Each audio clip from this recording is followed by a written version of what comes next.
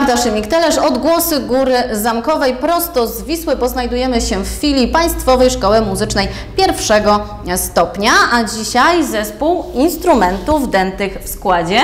Przedstawcie się. E, Jestem Marysia, e, gram na flecie i już gram na nim 6 lat.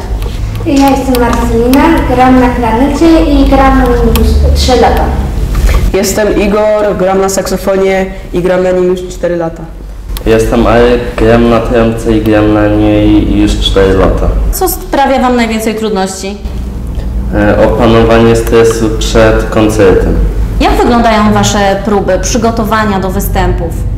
No na początku dostajemy utwór, którego będziemy grali i próbujemy w domu em, go zagrać i z nauczycielami też go ćwiczymy, a potem na próbach e, próbujemy go razem poskładać. No a już sam występ, y, kiedy możecie razem się zaprezentować na scenie, pokazać.